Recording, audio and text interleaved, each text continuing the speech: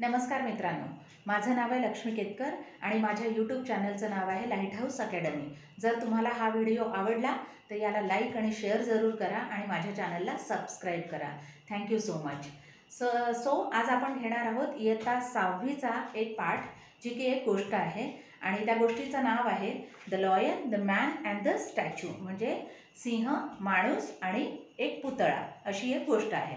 तर ही एक पंचतंत्रातली गोष्ट आहे. आता पंचतंत्रातली गोष्ट आणि बाकीच्या गोष्टींमध्ये फरक काय असतो?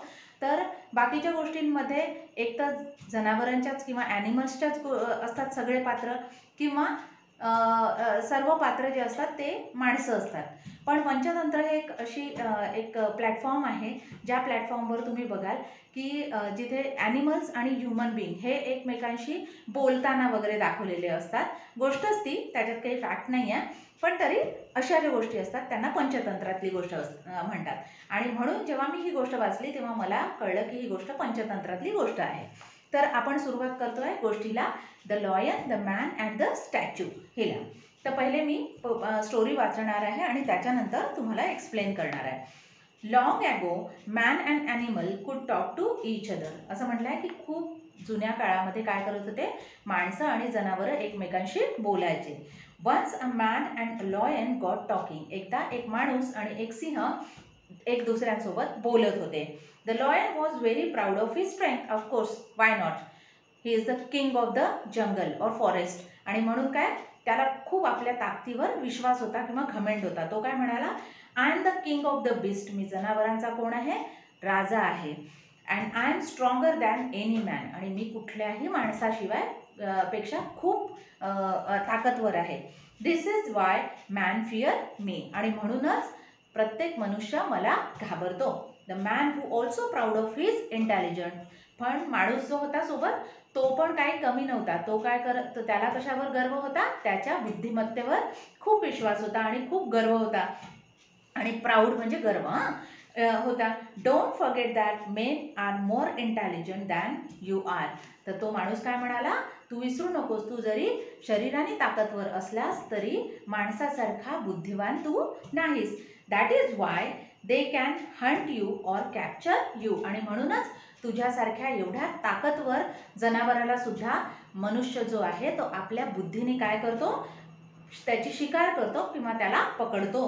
The both begin to argue about who was greater आणि दोघांमध्ये काय सुरू झाली? बाचाबाची सुरू झाली की कोण जास्ती ताकदवर आहे? ॲट लास्ट शेवटी काय झालं?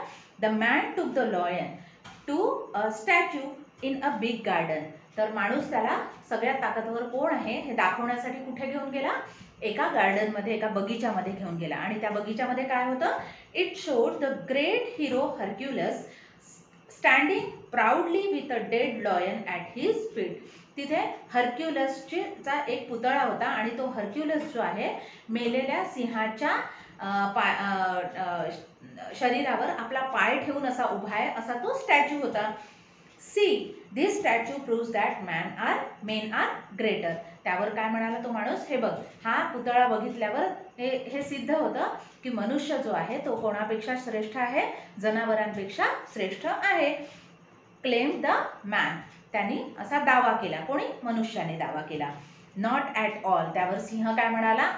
अजिबात नाही. द लॉयन रिप्लायड क्विकली त्यांनी लगेच रिप्लाय केलं. This only shows that the statue was made by a man या पुतळ्यावरून हर्क्युलस जो सिंहाच्या मेलेल्या सिंहाच्या शरीरावर पाय ठेवून उभा आहे असा एक जो पुतळा आहे तो बघून सिंह काय म्हणाला याच्यातून काहीही सिद्ध होत नाही. तर याच्यातून काय सिद्ध होतं? फक्त की हा पुतळा जो आहे तो कोणी बनवलेला आहे? माणसानी बनवलेला आहे.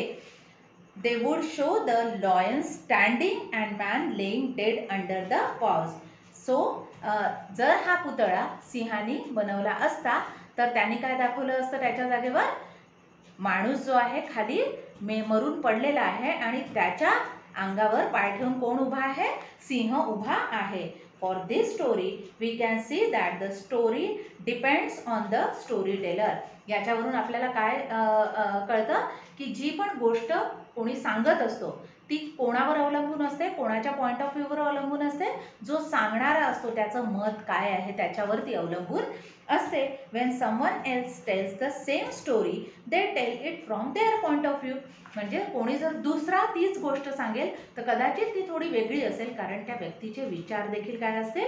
वेगळे असतील. आणि म्हणून प्रत्येकाचा व्ह्यू वेगळा असतो. प्रत्येकाचे विचार वेगळे असतात. बघण्याचा दृष्टिकोन वेगळा असतो. त्याच्यामुळे जी गोष्ट आपल्याला जशी दिसते ती तशी नसते.